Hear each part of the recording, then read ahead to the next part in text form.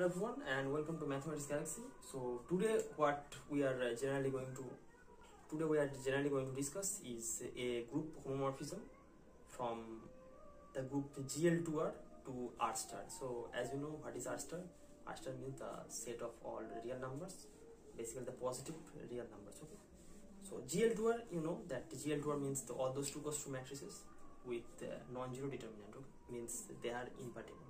All right so that's what we're gonna check today that how this GL2R uh, can be a very good group homomorphism from that to R star. Okay. R star means basically it's sometimes called the R plus. Okay? Okay R star means basically not uh, positive it's basically the non-zero real numbers okay? Non-zero real numbers. That's very important. All right okay so at first just write what is GL2R in the in this sense so this notation may be changed in, in, in some books but I think this is the current notation I am using. So it consists of all those matrices A, B, C, D such that AD minus CB not equals to 0 and always that ABCD they belongs to R so A, B, C, D uh, they basically belongs to R okay? So that's the real deal it. And what is r star? R star means basically r minus 0 that is called r star. Means all those non-zero real numbers okay? And we define a group homomorphism. We define a group homomorphism from this to this okay? So that's what uh, we basically do today. And we know that gl2r is basically a beautiful group with respect to uh, multiplication okay? With respect to multiplication. Got it and R star we know this is again a group with respect to multiplication. Uh, as you know there is I mean non-zero real number so there is no problem of uh, multiplying things in such order.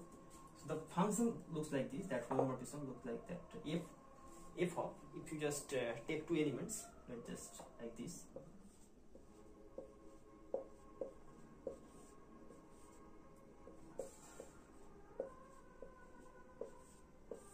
okay you can see that ABCD and TQRS so they will be mapped into something uh, in R star. As you know that this is not equals to 0 and we know that if you multiply these two things they will be again uh, not equals to 0 because GL2R is basically closed okay? Closed means if you multiply two elements then it will be again an element of GL2R and if you just uh, multiply this thing it will be like this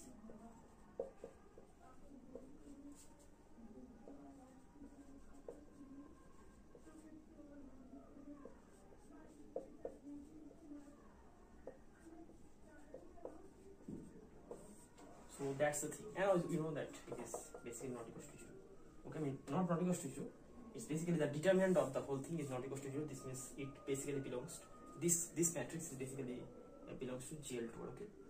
And so uh, what is what is the mapping actually? What is the mapping? So if you do this kind of thing then it will it will become something uh, something very sensational okay? Something very sensational that you can just uh, do something like this that into f of okay you can do things like this. So what is the mapping then? The mapping is this that you put this. It basically goes to AD minus CB okay? So that is the basic mapping okay? So that is very important. The mapping is this okay? As you know this this element belongs to R star okay? And this element is general belongs to this GL2. So that's the mapping and that's how we define this group homomorphism. I mean uh, we can check this that this basically belongs to group homomorphism. Okay. So that's the thing it is and again it's basically uh, it's very interesting to see, that uh, this is basically an onto mapping. Onto means that if you take any member from this R star okay corresponding to that member you can find an element in GL2R.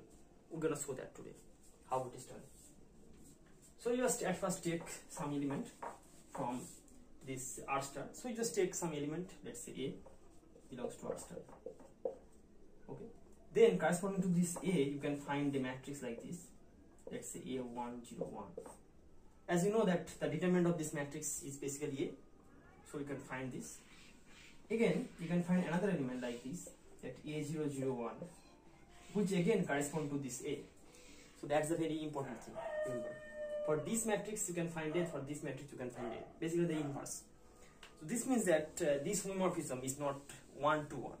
Okay, means for exactly I mean let's say two two two equal element you cannot find always this kind of mapping. Means for one element you can find uh, let's say thousand thousands of uh, elements in GL2R. Okay, so this is not basically one to one mapping. Means it is not injective in a sense. Alright. So that's the thing it is, and it is very beautiful to see that in in general sense, in general sense that this GL2R is generally non-commutative. It doesn't commute, got? But on the other hand, R star is basically beautifully commutative, means it's abelian. So this uh, example shows that how you can find uh, basically an on-to group homomorphism from a non-commutative group to a commutative group. So that's how it is. Okay. Well, thanks for watching.